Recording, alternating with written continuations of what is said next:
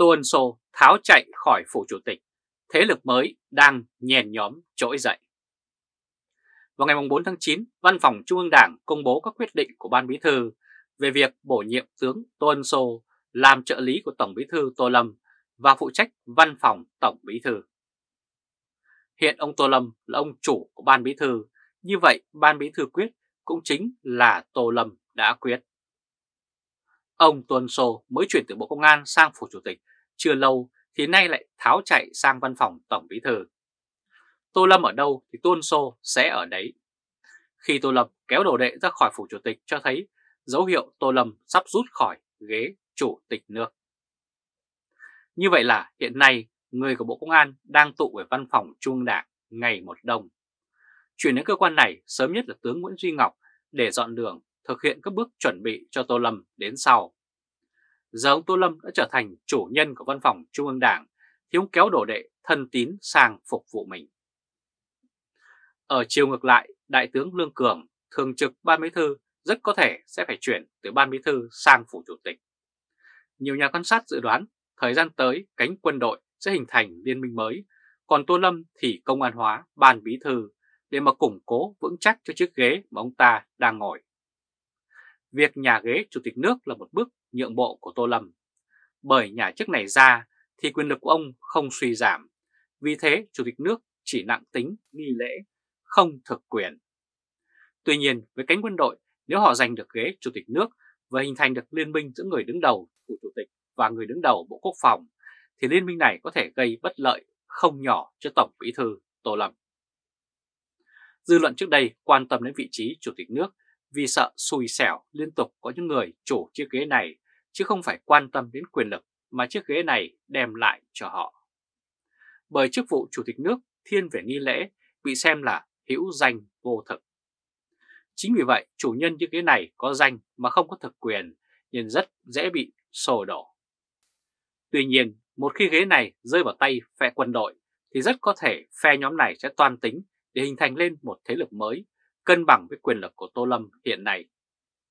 Với việc Tô Ân Sô chuyển từ phủ chủ tịch sang văn phòng Tổng Bí Thư cho thấy ông Tô Lâm bị buộc phải nhường một phần quyền lực, đồng thời trên chính trường đang nhen nhóm hình thành một thế lực mới. Nếu thành công, thế lực này có thể cân bằng quyền lực với Tô Lâm. Ông Tô Lâm đã chiếm cái ghế Tổng Bí Thư bằng cách sử dụng Bộ Công an nên đã gây thủ chuốt án với rất nhiều thế lực khác trong đảng. Muốn ăn vị trên ngôi báu, ông phải tiếp tục dùng Bộ Công an để mà kiểm soát đối thủ, những kẻ muốn hạ bệ ông ta. Thậm chí ông cần phải dự đoán kẻ thù trong tương lai và ra tay triệt trước. Phe quân đội có thuận lợi rất lớn, đó là công an không được xen vào, không được điều tra. Do đó, công cụ mà Tô Lâm sử dụng rất hữu hiệu để hạ bệ các thế lực khác sẽ không còn có tác dụng với quân đội. Chính vì hiểu rõ điều này nên ông Trọng đã kéo tướng Lương Cường về chấn giữ ban bí thư ngăn chặn các đòn tấn công của Tô Lâm với ban này. Chỉ tiếc Long Trọng chám lỗ hồng này chưa lâu thì đã qua đời. Yếu điểm duy nhất của phe quân đội là manh muốn, không đoàn kết.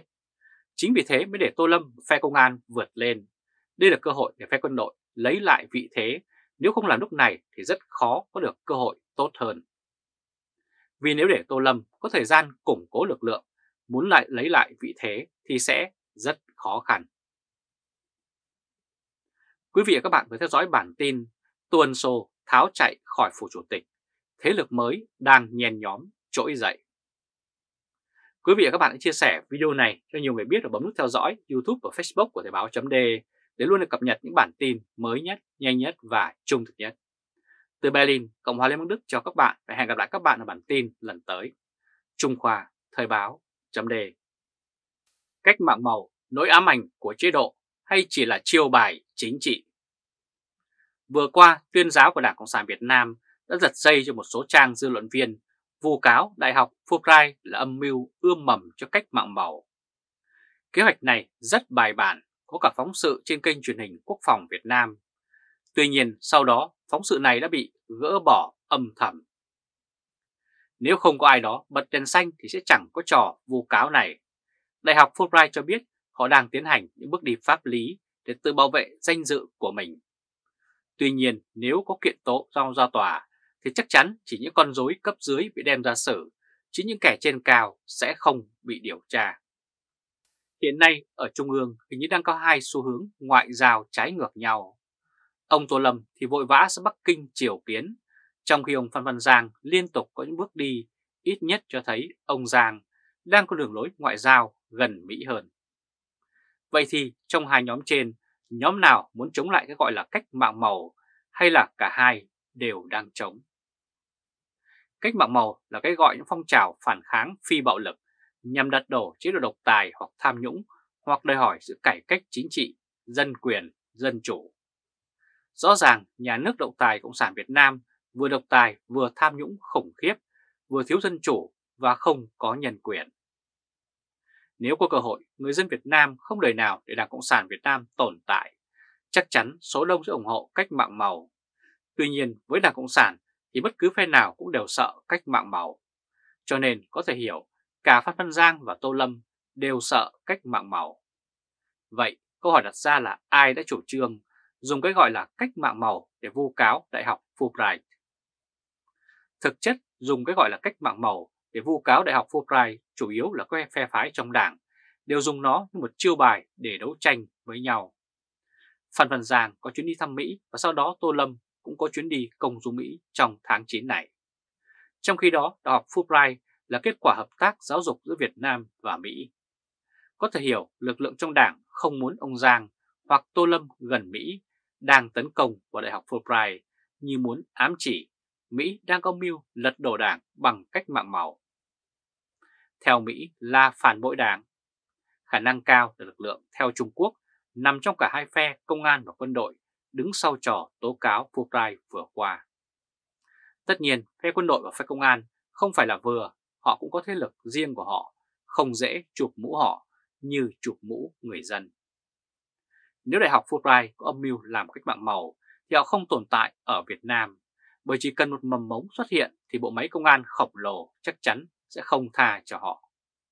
Đại học Fulbright được chính quyền của Đảng Cộng sản Việt Nam chấp nhận cấp giấy phép, có nghĩa là họ là một tổ chức giáo dục hoạt động theo luật pháp của Đảng Cộng sản. Nếu bên vu cáo có bằng chứng thì họ đã không rút bài. Hiện nay, các bên trong đảng đều đang sử dụng những trò đánh dưới thắt lưng. Chính trường trong thời gian tới hứa hẹn có sôi rộng hơn. Tứ trụ cộng công an đấu với tứ trụ cộng quân đội sẽ là trận đấu ngang tải ngang sức, sẽ là bạo lực cách mạng đấu với bạo lực cách mạng. Bao nhiêu năm qua, các thế lực được cho là thân Mỹ cũng không thể xích lại gần hơn được cường quốc số một thế giới này. Ngay cả cựu Thủ tướng Nguyễn Tân Dũng, người được cho là có xu hướng thân Mỹ cũng không thể phá rào để kết nối mạnh hơn với Mỹ. Ông Dũng cũng phải trôi theo dòng chảy của đảng, nghĩa là vẫn không thể thoát khỏi tàu. Ông Dũng chỉ thể hiện thân Mỹ khi cho con cái du học Âu Mỹ, gá con gái cho một Việt Kiều Mỹ là con của cựu quan chức Việt Nam Cộng Hòa.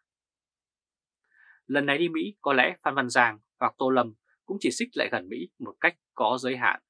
Sẽ khó có một lực nào dám bạo gan tiến sát Mỹ như Đài Loan vẫn đang làm.